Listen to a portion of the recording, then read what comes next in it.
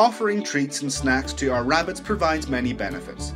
More than the fact we can provide better nutrition by supplementing their main diet, treats can be used as rewards to encourage certain behaviours in bunnies. They also help us to strengthen the bond we share as their guardians. Keep watching AnimalWised to see why and how.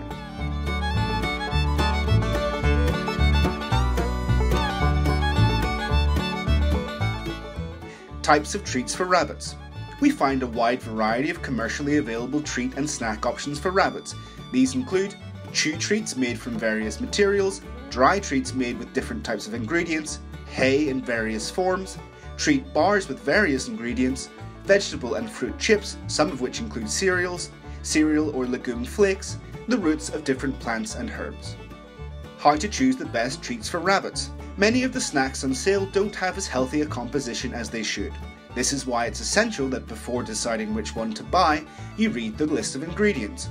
For example, some contain sugar, a product that should never be present in the diet of rabbits as it's harmful to their health. We recommend you look for ingredients other than those that make up the rabbit's usual diet in order to introduce variety. In addition, selecting those treats that can be manipulated as toys is a plus for the rabbit. In this way, they are both nourished and entertained. How to make homemade treats for rabbits. There are treats for rabbits as natural and simple as providing pieces of fruit.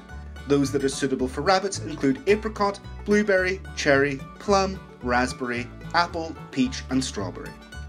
Almonds, walnuts, sunflower or pumpkin seeds, cereals such as rolled oats or barley, and legumes such as peas and beans can also serve as a reward.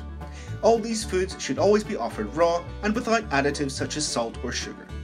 In the same way, some vegetables such as carrots, broccoli, peppers, cucumbers, and zucchini, as well as herbs such as basil, coriander, mint, or chamomile, serve as treats for rabbits.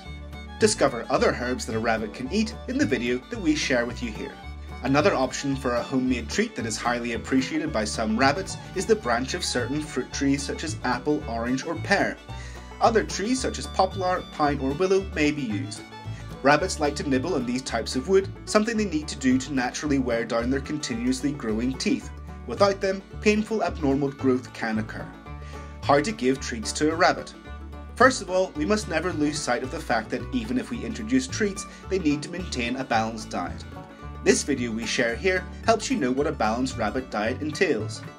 The amount of treats and snacks we provide should be minimal.